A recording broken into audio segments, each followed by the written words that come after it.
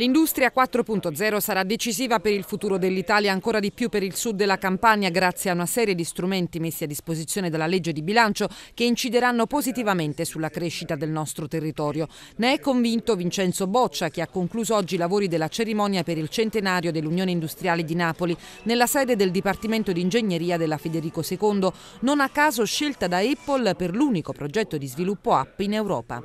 L'idea di una Campania che può essere eh, come dire, apripista di una questione industriale italiana, ma innanzitutto del Mezzogiorno, è un elemento importante. Di una Napoli che deve ritornare a essere capitale dell'industria del Mezzogiorno e capitale di pensiero e di progetto per il nostro Mezzogiorno. Accanto a Boccia il suo concittadino Vincenzo De Luca, governatore della Campania, e a distanza il sindaco di Napoli Luigi De Magistris, che ribadisce la centralità della città nel programma di investimenti. Noi ci auguriamo che da qui alla fine della primavera ci siano da qui anzi all'estate per essere più cauti due firme importanti come ho detto Bagnoli e Napoli Est. E questo lo voglio sottolineare è esclusivo merito della capacità di questa città di credere nelle proprie forze come si diceva prima forze del lavoro, forze istituzionali, forze economiche e l'abbiamo fatto proprio perché la città è rimasta autonoma Accanto alla fabbrica 4.0 è necessaria anche una pubblica amministrazione capace di innovare e rispondere al cambiamento dei tempi. Ecco perché Boccia condanna senza appello gli assenteisti. Vogliamo solo ricordare,